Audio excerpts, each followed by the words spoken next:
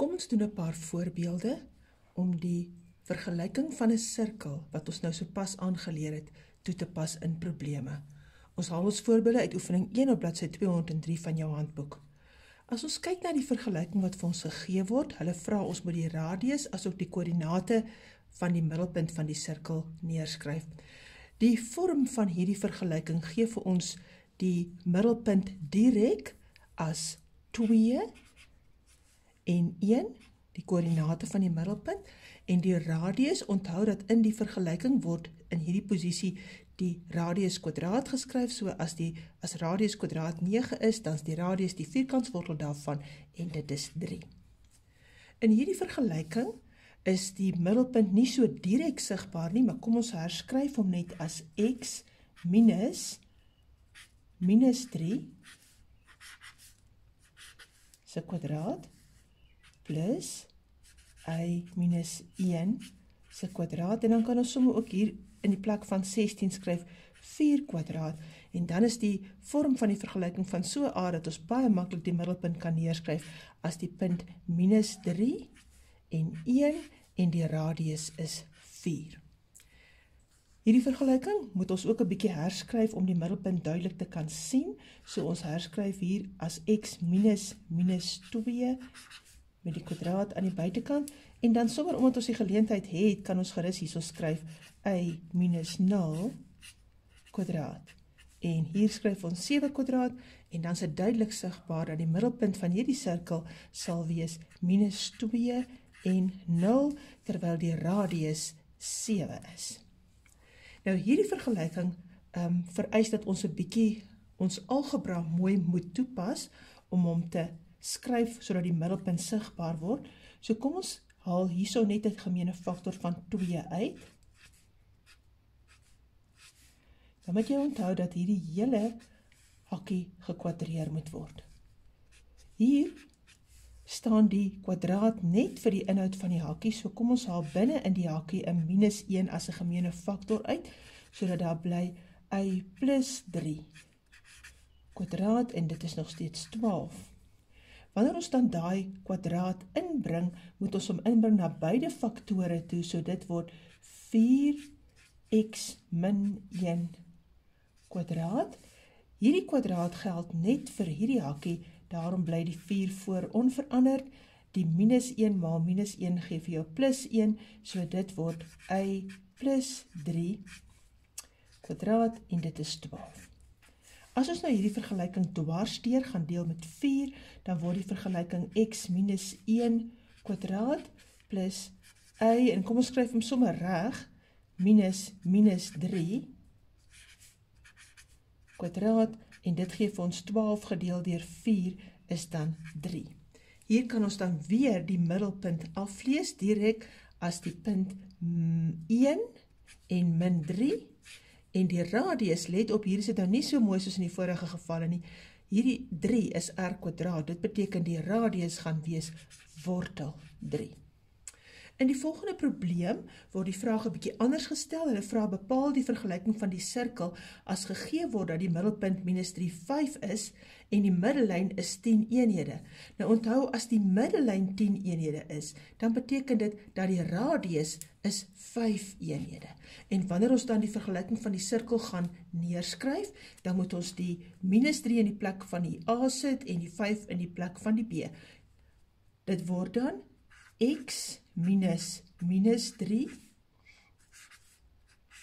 se kwadraat plus y minus 5 se kwadraat is gelyk aan en onthou die radius is 5 so hier moet staan 5 kwadraat en as ons hom mooi herskryf dan word dit x plus 3 se kwadraat plus y minus 5 se kwadraat en 5 kwadraat is dan 25. Kan van ons verwag word om die vergelyking van 'n sirkel ook direk vanuit 'n skets neer te skryf. Nou, hierdie sirkel se middelpunt is by die oorsprong en onthou dat die oorsprong se koördinate is 00. Maar ons hoef dit nie eens in aanmerking te neem nie want ons weet daar's 'n spesiale vergelyking vir sirkels wat hulle middelpunt by die oorsprong het en dit is eenvoudig x kwadraat plus y kwadraat is gelyk aan r kwadraat. As ons dan nou sê dat hierdie sirkel het 'n punt 5 min 12 wat vir ons gegee word, dan moet hierdie punt as ons hom in die vergelyking instel, die vergelyking waar maak. So kom ons stel hierdie punt in, dan sit ons in die plek van die x 'n 5, dit word 5 kwadraat plus in die plek van die y sit ons min 12 kwadraat en dit word r kwadraat. As ons kwadreer, dan kry ons 25 plus 144 is gelyk aan r kwadraat en dit gee dan vir ons 169 is r kwadraat. Nou word die vergelyking van die sirkel neergeskryf en dit is x kwadraat plus y kwadraat is gelyk aan 169.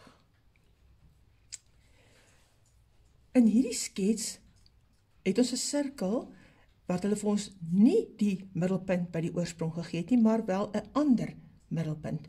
Nou as jy na hierdie skets kyk, moet jy mooi sien dat as jy nou gaan kyk na die middelpunt wat gegee word en ons gaan trek 'n loodlyn na die x-as en 'n loodlyn na die y-as, dan moet jy oplet dat hierdie afstand op grond van die y-waarde wat -2 is, is hierdie afstand 2 eenhede. En daardie twee eenhede gaan ook die radius vorm van die sirkel. So wat ons dan hier het, is ons het 'n sirkel met die middelpunt min 4 min 2 en ons weet die radius van die sirkel is 2. Dan kan ons dadelik gaan en die vergelyking van die sirkel gaan neerskryf as x minus minus 4 se kwadraat plus y minus minus 2 se kwadraat en dit is natuurlik r kwadraat. So r kwadraat gaan dan wees 2 kwadraat. Dit gee vir ons dan die vergelyking x plus 4 kwadraat plus y plus 2 kwadraat wat gelyk moet wees aan 4 en daar het ons die vergelyking van die sirkel in standaardvorm. Nou in hierdie geval het ons 'n sirkel wat net raak aan die y-as. Nou, Hierdie punt word vir ons gegee waar die x-as sny net as 8, maar onthou ons het dan ook die koördinate van daardie punt. Die x-waarde is 8 en die y-waarde is 0. Wat 'n mens hier moet oplet is dat as die ehm um, sirkel net hierso raak aan die y-as, dan kan sou 'n mens kon sê dat hierdie afstand hier moet dan die radius wees. Dit gaan gee dat die x-koördinaat van die middelpunt gelyk moet wees aan die radius en die y-koördinaat van die middelpunt moet dan wees minus 16. As ons dan die vergelyking van die sirkel gaan neerskryf in die standaardvorm, dan word dit x minus r se kwadraat plus y minus minus 16 se kwadraat en dit moet gelyk wees aan die radius se kwadraat. As ons hierdie vergelyking vereenvoudig, dan word dit x kwadraat minus 2rx plus r kwadraat. En kom ons sit maar 'n ekstra stapie in en ons vereenvoudig net eers hierso 'n bietjie, dan word hierdie vergelyking y plus 16 se kwadraat is gelyk aan r kwadraat. En dan kan ons sommer dadelik sien dat hierdie vergelyking maklik vereenvoudig deurdat die r kwadrate aan beide kante kan uitkanselleer. Ehm um, as ons dan gaan hierdie verder vereenvoudig dan kry ons x kwadraat min 2rx plus y kwadraat plus 2 maal 16 is 32y plus 16 kwadraat wat 256 is en dit is gelyk aan 0 want hierdie r kwadraat het mos nou aan beide kante uitgekanselleer. Nou, hier kan jy sien dat jy 'n vergelyking het waar ons nog steeds te veel onbekendes het. Ons het nog nie die radius nie. So wat het ons nog? Wat het hulle nog vir ons gegee? Daar is een punt, die punt 80 wat op die sirkelrand lê en hierdie punt kan in die vergelyking ingestel word. So kom ons gaan stel die punt 80 in die vergelyking in. Dan word die vergelyking 8 kwadraat minus 2 maal 8 maal r plus die y kwadraat. Ons skryf hom nou maar in. Dit jy kan dit maar uitlaat, maar kom ons doen maar die substitusie volledig plus 256. Dit vereenvoudig dan na 64 minus 16r. Hierdie term kan is 0, hierdie term is 0 plus 256 gelyk aan 0. Goed, dan gee dit vir ons 256 plus 64. Kom ons doen dit sommer so. Gee vir ons dan 320. En as ons die 16 min 16r oorvat, dan kry ons 320 is 16r. As ons aan beide kante met 16 deel, dan kry ons r is gelyk aan 20. En nou moet jy onthou, jy het nie net die radius se lengte nie, maar jy het ook die x-koördinaat van die middelpunt. So as ons dan die vergelyking in standaardvorm gaan neerskryf, dan word daardie vergelyking x minus 20 kwadraat plus y minus minus 16 kwadraat is gelyk aan 20 kwadraat. Dit gee vir ons x minus 20 kwadraat plus y plus 16 kwadraat wat gelyk is aan 400. En met hierdie voorbeelde tot jou beskikking, kan jy nou gaan en jy kan self die res van die oefening voltooi. Sterkte.